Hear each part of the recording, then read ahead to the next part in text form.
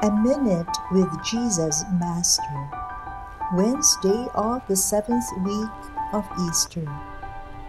Jesus prayed to the Father I have sent them into the world as you sent me into the world, and for their sake I go to the sacrifice by which I am consecrated, so that they too may be consecrated in truth.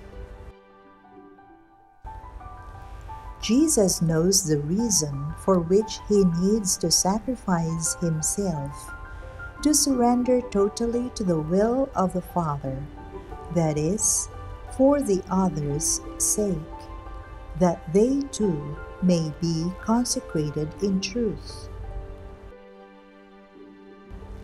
Like Jesus, do we know the reason why we need to sacrifice ourselves?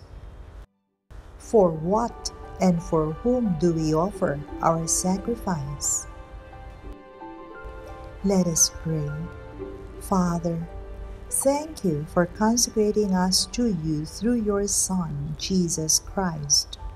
Like him, may we be willing to sacrifice for the others' sake for the good of the many.